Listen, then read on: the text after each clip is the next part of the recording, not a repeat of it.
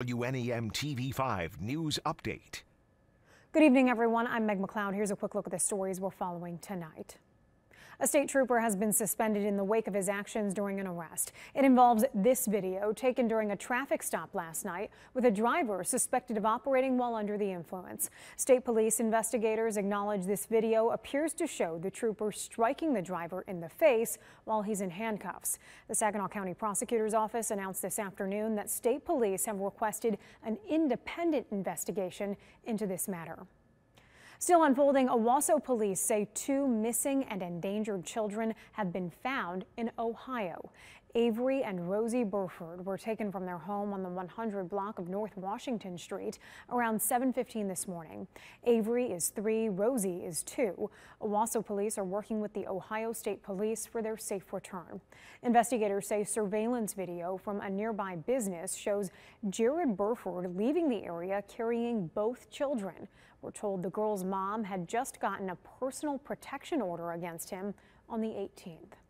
And now here's Chris with a look at an expectedly messy morning commute. Chris? Meg, definitely expecting that. If you have plans later this evening, they should be just fine through about midnight. However, it's after that mark, once we get into the overnight, that things really start taking off. As for tonight, we've enjoyed a lot of sunshine for today, but the clouds will eventually take over and then the wet weather will follow a little bit later tonight. We do expect a prolonged stretch of wet weather. It becomes all rain after the mix on Wednesday afternoon, so we just have to get through the morning but it's that morning commute that could be a little icy. Ice amounts between about a tenth to a quarter of an inch are possible. Some sleet and snow can mix in there at times as well, but we do expect freezing rain to be the primary form of precipitation. The Tri-Cities and Thumb expected to warm up above freezing by about 10 or 11 a.m. Northern counties by about 12. Your first Warn 5 hour by hour forecast shows that as we go through tonight, again, we're dry through about midnight or so. Eventually, we start to see things approach our southwestern zones close to Isabella, Gratiot, and Shiawassee counties around midnight.